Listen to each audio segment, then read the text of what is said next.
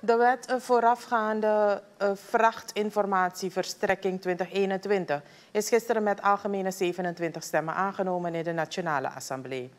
Het doel van de wet is om de Regional Crime and Security Agenda, zoals overeengekomen op de Conference of Heads in 2005, te realiseren. Shang Rui Wang, VHP-parlementariër, zei dat met deze wet de regering de corruptiebestrijding ter hand neemt. Rishma Mangre hoopt dat het Asikuda-systeem zal worden gemoderniseerd, wat zal bijdragen aan het uitvoeren van deze wet.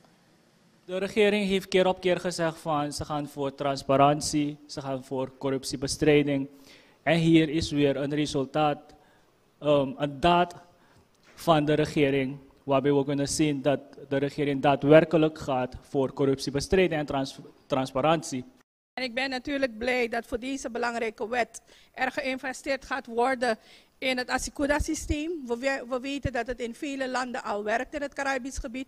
Dus ik zou de minister vragen om er haast bij te zetten om de versie te veranderen naar 4.22, zodat er gewerkt kan worden met de vernieuwde versie van het Asikuda-systeem.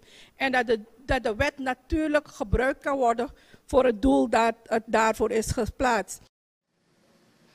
NDP-parlementariër Stefan Sang motiveerde waarom de NDP-fractie niet heeft gestemd voor deze wet. De fractie meent dat er laks is omgegaan met de algemene bepalingen die in de wet zijn opgenomen. Het is jammer te zien dat er zo weinig interesse is in deze wet, dat wel erg belangrijk is voor ons land. Persoonlijk zeg ik, voor mij is het een breekpunt wanneer het gaat over die algemene delegatiebepalingen. Ik denk niet dat we dat zo kunnen laten. En ik denk dat dat luiheid is. En ik zeg het gewoon zo. Want ik zie dat in vele andere conceptwetten. Wanneer algemene delegatiebepalingen worden gezet in een wet, dan laten we te veel ruimte over, open voor speculatie en voor corruptie zelfs. En ik denk niet dat dat de bedoeling kan zijn wanneer wij hier wetten maken.